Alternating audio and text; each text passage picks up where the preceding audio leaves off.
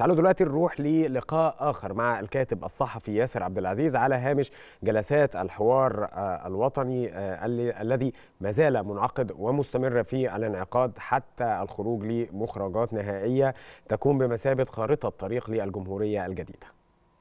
الحوار الوطني هو حالة يعني مجتمعية وسياسية مطلوبة وملحة وهو أيضا يعكس ضرورة سياسية معينة في هذه الظروف التي تمر بها البلاد وأيضا أتصور إنه اقتراب سياسي ذكي جدا لأنه هيؤدي إلى أن يجمع كل أطراف العمل السياسي والاجتماعي والثقافي في مصر على مائدة واحدة. وكما رأيت فإنه الأسقف عالية وبالتالي من الممكن جدا أن نخرج بمجموعه من الأفكار ومن مجموعة من المقترحات التي يمكن أن تؤدي إلى تغيير سياسي حقيقي.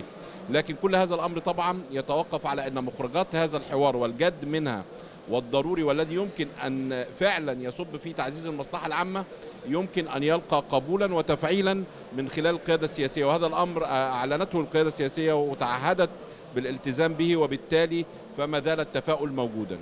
طيب دكتور ياسر لو تحدثنا عن محور اليوم وتحدث عن المحور السياسي الحريات العامة والتمثيل النيابي وعدد أعضاء المجلسين المنتخبين كيف تابعت البعض الذي جرى من الجلسات؟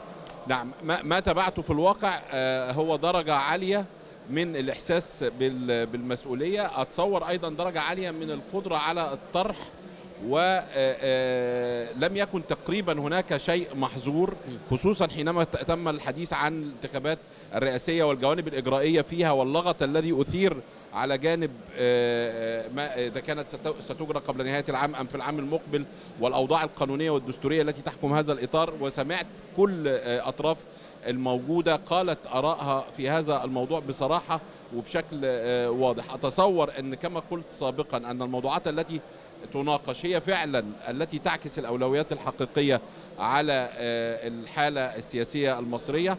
وأتصور أيضا أن هذا النقاش يتسم بدرجة من الإيجابية ومن التشارك والموضوعية. وأتصور أن الأخذ بهذه التوصيات أو المخرجات ضرورة.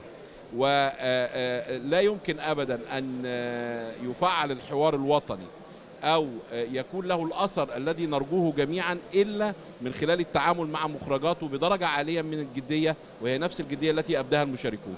طيب يمكن كان أكد على نفس المضمون ونفس المنطلق المنسق العام الدكتور ضياء رشوان وقال إنه هناك التزام حقيقي. من كافة ال ال يعني العملية الحوارية المستمرة في حتى حتى هذه اللحظة. وأيضا هناك استجابة قوية من كافة القوى بالإضافة إلى إنه مخرجات الحوار القيادة السياسية هناك تجاوب كبير مع ما تعليق يعني حتى هذه اللحظة هذا الأمر يبدو إنه جاد.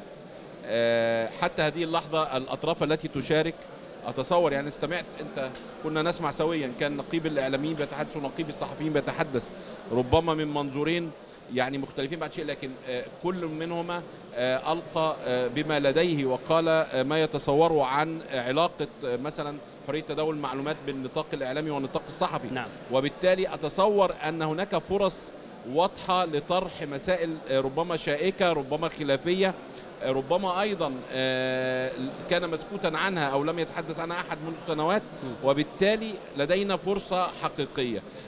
حينما أعطى الرئيس الإشارة الإيجابية بتبني فكرة الالتزام الاشراف القضائي في موضوع الانتخابات الرئاسية وهذه دعوة كانت صادرة عن الحوار. هذا يمثل بادرة إيجابية. نعم. لكن ما ننتظره وما نرصده ونتابعه هو هل هذه المخرجات ستواجه بنفس القدر من العناية والتفاعل من القيادة السياسية ومن المؤسسات المعنية بالتشريع؟ هذا هو ما سنراه في الأيام القادمة.